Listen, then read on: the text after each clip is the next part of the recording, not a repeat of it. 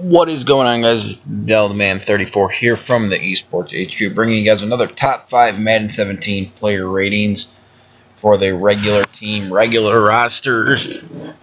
Um, basically, this will be the top five wide receivers in the game. I know this is our most wanted one. That quarterback, all those will be here today.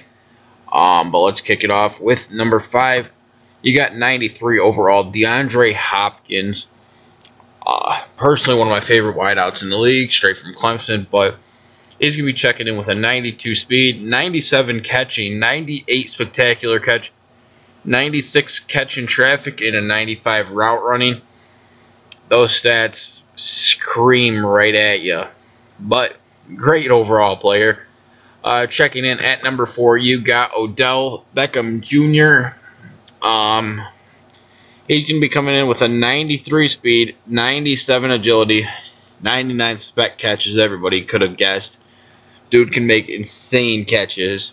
92 catching traffic with a 96 route running. So definitely a good player to have.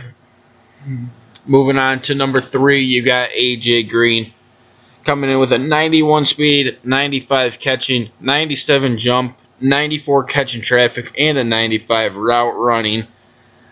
Uh, AJ Green's a great receiver, but I think very underrated. You don't really hear about AJ Green. But let's just keep all that behind us.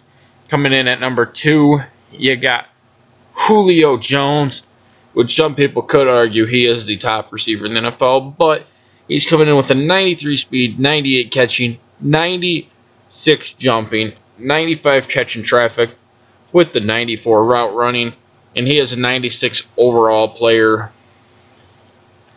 Uh, yeah, stats speak for themselves.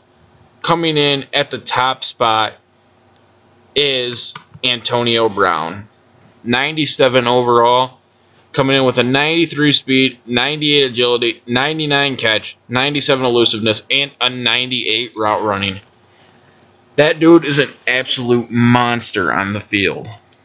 But that is the end of the video, guys. If you guys do want to see more top fives in the future, be sure to drop a like on the video and subscribe for more content. Until next time, guys, I'm out.